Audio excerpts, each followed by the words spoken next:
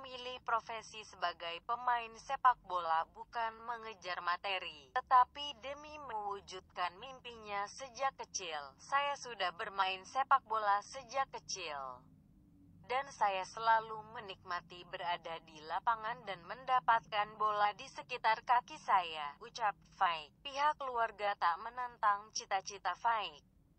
Mereka justru memberikan dukungan penuh agar keinginan Faik bisa terwujud pernah di klub besar aksi Faik Bolkia, Tengah, pada ajang SEA Games ke-28 di Laos. Asosiasion Football Faik rupanya pernah tergabung dalam tim muda dua klub papan atas Liga Inggris, yakni Arsenal dan Chelsea. Faik memperkuat tim muda Arsenal pada musim kompetisi tahun 2013 sampai tahun 2014, sedangkan Chelsea pada tahun 2014 sampai tahun 2015 sebelum membela dua klub besar tersebut.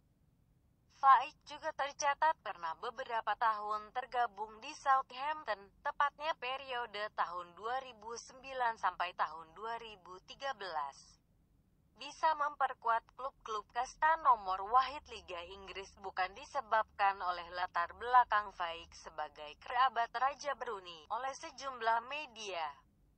Faik dinilai sebagai salah satu pemain muda berbakat yang ada di dunia. Jika menilik aksi-aksi Faik di lapangan, memang wajar jika sang pemain mendapatkan predikat tersebut.